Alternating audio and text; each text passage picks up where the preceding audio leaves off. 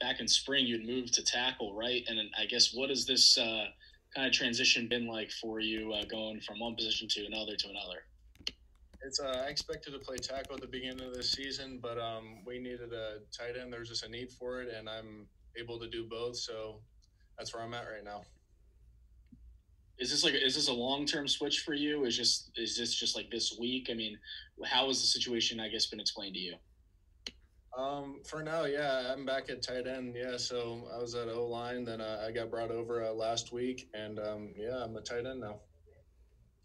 Remember when Brian O'Neill made the change and he was getting up at like three in the morning to eat peanut butter sandwiches and trying to gain weight? Did you have to go through a similar process and do you have to lose weight now? How does that work from a conditioning standpoint? Yeah, I'm just getting used to uh, running around again. Um, I'm, to be honest, I'm fine with my weight right now. Maybe a little bit less, but I feel good running around, even though I'm a, a bigger body at tackle. But yeah, I feel uh, smooth running around. I just um, get back into that uh, running route shape. Is that the thing that that then is the the toughest? Is get just getting back to running routes and and maybe absorbing that part of the playbook that uh, I'm sure you've been learning, you know, other kind of stuff this all off season.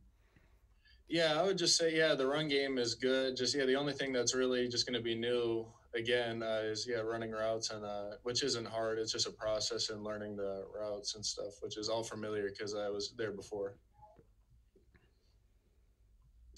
Grant, how much of defense has changed? And you see a lot of these three threes and, and different schemes of guys coming at you from different positions. Uh, how difficult is that to make sure you uh, find who you need to block? And do you expect a similar thing from NC State? Yeah, I mean, uh, we, we go over that stuff. Like when I was with uh, Coach Borbely, he's a great teacher of breaking down these defenses and all like the concepts and like where everyone needs to go. It's not like I just know where I need to go. Like I understand where everybody else needs to go, which makes it a lot easier. Is there any advantage to going back to tight end now, having been a tackle? Yeah, I would say yeah. Number one, the obvious one, blocking. Yeah, just um, we do so much, so many blocking drills. We focus on our hand, our foot drive, and all this stuff, our leverage. So yeah, that's, that's definitely an advantage that I can uh, go back to tight end and use those tools. And your parents went to Pitt. Your high school coach went to Pitt. What if you had come to them and said, "I'm going to go somewhere else"? No, that, that's not that's not a question. That's not it. Yeah, we're Pitt people, and um, I'm a Pitt man.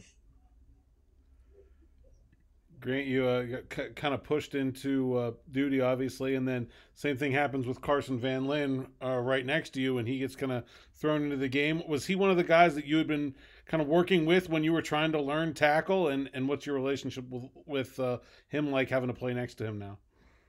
Yeah, no. Uh, when I was a tackle, yeah, he helped me out. The whole room really helped me out. And uh, last week in the game, yeah, we were uh, right next to each other, which is exciting. And yeah, I'm uh, excited to uh, be right next to him playing.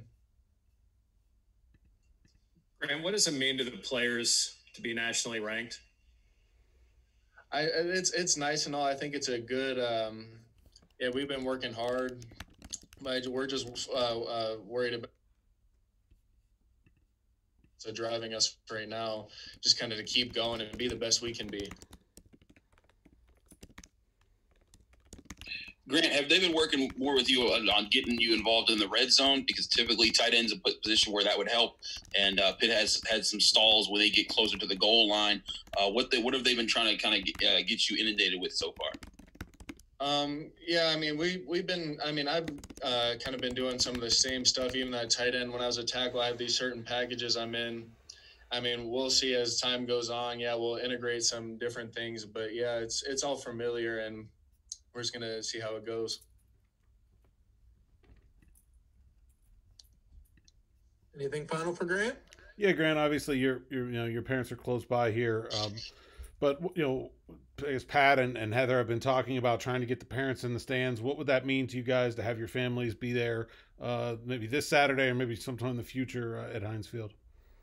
Yeah, that would mean a lot. I mean, it's it's nice to even if there's not like a, a full uh, stadium full of people, it's still nice just to know that the people you play for, the people that you love, are in the stands. So that'd be a that would mean a lot if they could be there. Grant, how would you describe what it's been like with no fans? Um, it, it, I mean, it's, yeah, I mean, it's the same kind of game. Yeah, it's same game, like all this kind of stuff. But yeah, there's obviously a little bit, uh, it's different because there's not that, uh, crowd aspect, that crowd noise. So it is a little bit different, but I mean, it's, yeah, we just keep going.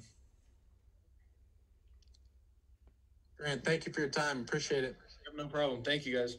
Have a great day.